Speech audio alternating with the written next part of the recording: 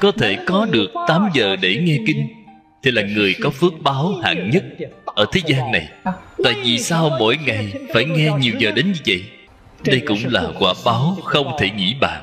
Nếu như chúng ta không nghe kinh, thì lục căn của chúng ta tiếp xúc với cảnh giới lục trần bên ngoài. Nhất định là sẽ bị cảnh giới ô nhiễm, nhất định sẽ bị cảnh giới xoay chuyển. Đây là sự thật. Điều này không phải giả. Bản thân chúng ta hãy lắng tâm mà phản tỉnh Thì sẽ phát hiện. Bị ngoại cảnh xoay chuyển Bị ngoại cảnh ảnh hưởng, Thì quả báo của chúng ta Nhất định là ở ba đường khổ. Cho dù có thể không đọa ba đường ác, Nói một cách khác, Bạn nhất định không thể vượt khỏi lục đạo. Cái chân tướng sự thật này Nhất định phải hiểu. Chúng ta học Phật, Mục đích là gì? Là quyết tâm nắm bắt cái cơ hội lần này để vượt thoát lục đạo luân hồi, giảng sanh tây phương tịnh độ.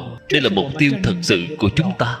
Chúng ta phải đem cái sự việc này làm thành cái mục tiêu số một ở ngay trong cuộc đời này của chúng ta. Những việc khác đều là chuyện nhỏ, đều xếp vào vị trí thứ hai, thứ ba, thứ tư, đều không phải quan trọng nhất. Sanh tử là việc lớn vậy thì sẽ hoàn toàn không có sai lầm.